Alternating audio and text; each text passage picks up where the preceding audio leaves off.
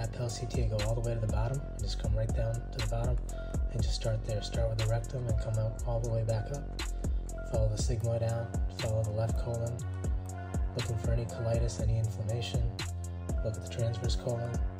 Now I'm looking at the right colon, I'm looking at the cecal base. I find the appendix here, so that's normal. So right now I've excluded appendicitis and colitis, essentially diverticulitis. Now I'm looking at the kidneys. I'm looking to see if they're hydronephrotic from the get-go. See that uh, fat there in the kidneys. I know there's really not any hydronephrosis. I just grab one of the ureters and just track it down. Here's a ureter right there. Just track it straight down. see it hit right there into the bladder. And then same thing on the way other one, going all the way back up. And I've excluded ureterolithiasis. I'm basically ready to sign this and say negative for appendicitis, diverticulitis, or.